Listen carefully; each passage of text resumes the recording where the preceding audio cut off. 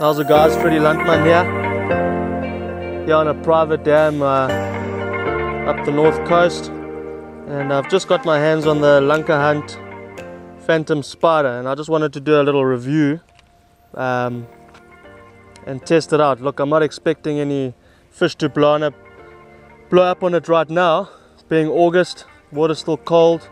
We've just had a front come through and uh, yeah, I mean, I can't wait to catch a fish on it. But yeah, I just wanted to throw it out here, see what it can do, see it, see it floating on the water, see its action, show you guys.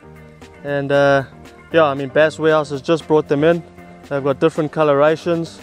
Um, yeah, so popping over and get yourself one. This thing is gonna do the business this summer. And uh, yeah, maybe even break some PBs.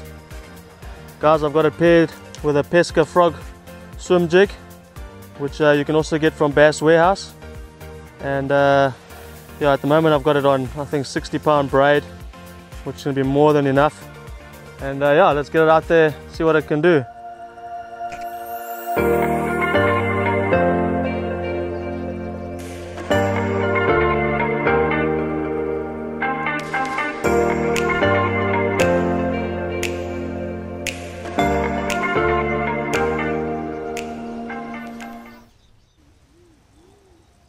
Yeah guys so as you can see this thing just looks amazing in the water.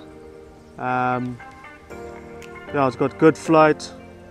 Uh, after a couple casts it does sink a little bit but yeah nothing really different to the hollow body frogs. I mean you can just squeeze that water out there and you're ready to go again.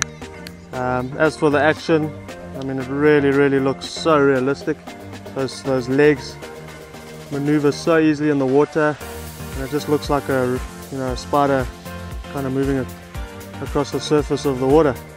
Um, I honestly think that this thing's gonna catch some serious fish this summer.